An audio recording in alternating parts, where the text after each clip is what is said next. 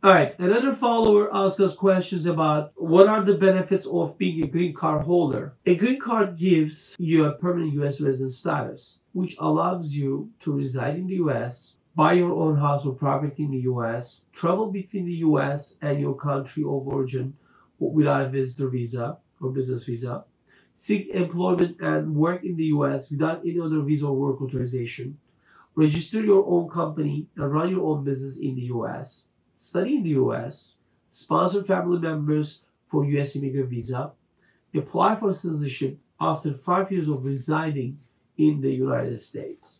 I mean, we can say that your U.S. green card also gives you the same rights as an American citizen, including all protection from the U.S. federal, state, and local laws, uh, just like an American citizen, while at the same time allowing you to actually allowing you to retain your citizenship in your native country.